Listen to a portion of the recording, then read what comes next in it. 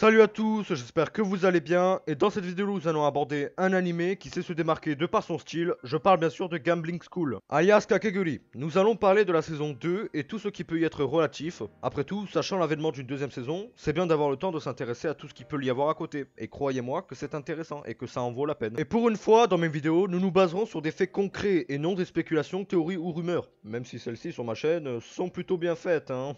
Mais bref, ces informations pour une fois s'avèrent officielles et déclarées et c'est dans cette immense joie que je lance l'intro.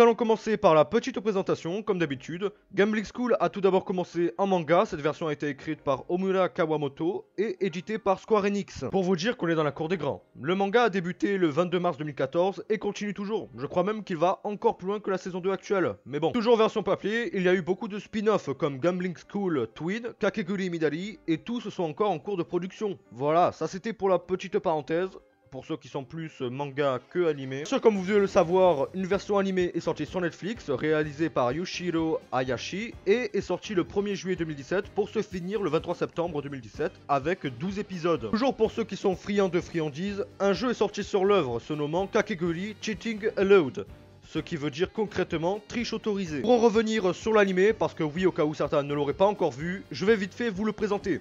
Toute l'intrigue se déroule dans l'académie privée de Hiyakao et elle a en son sein des élèves très haut placés dans la société, comme des fils de ministres, des fils de riches, des fils de putes, ah, ah merde. Tous, normalement en entrant dans cette école, sont destinés à de grandes choses, mais ces élèves-là ne sont pas comme dans toutes les écoles, évalués sur leur intellect et capacité, mais plutôt sur leurs compétences au jeu d'argent. Et ces mêmes jeux d'argent déterminent leur statut social au sein de l'académie, mais s'il y a des gagnants, il y a des perdants, et ces mêmes perdants sont des chiens pour les garçons et des chats pour les filles. Atteignant ce stade-là, l'élève concerné perd tout son argent à cause de la dette due au jeu d'argent, mais perd aussi toute dignité et amis.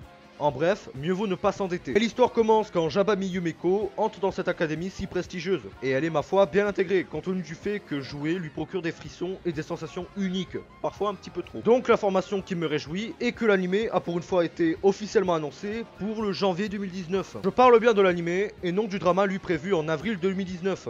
Toute dernière petite information, c'est que dans tout ça, les réalisateurs ont décidé de nous en mettre plein la vue en annonçant aussi la sortie d'un film dédié à la licence, qui lui verra le jour en printemps 2019, ce qui nous laisse une marge entre mars 2019 et mai 2019. Dernière petite chose, sachez que les dates dites dans la vidéo sont les dates officielles au Japon. Bien sûr, dans les sites de streaming, cela va très vite. Si vous voulez le voir sur Netflix, il va falloir être beaucoup plus patient car il ne publie rien sans qu'il ne soit sous-titré et disponible dans un minimum de langues. Je suis ma foi bien impatient de voir ce que ça va donner. Saison 1 est super et arrive tout le long à nous ressourcer en émotion et suspense, tout en restant dans le thème des jeux, ce qui ne convient pourtant pas à tout le monde. Si vous n'avez pas commencé l'animé, eh bien j'ai juste envie de vous dire que pour juste 12 épisodes, ça vaut la peine d'essayer, et je pense que vous ne serez pas déçus. Jabame Yueko saura vous impressionner et vous donner les frissons qu'elle ressent. Perso, cet animé m'a juste donné envie de jouer au poker. C'était tout pour cette vidéo, j'espère qu'elle vous aura plu et qu'elle vous aura aidé. Si c'est le cas, n'hésitez pas à vous abonner, ça me ferait vraiment super plaisir. Quant à moi, je vous dis à une prochaine vidéo. En attendant, portez-vous bien. Ciao, bye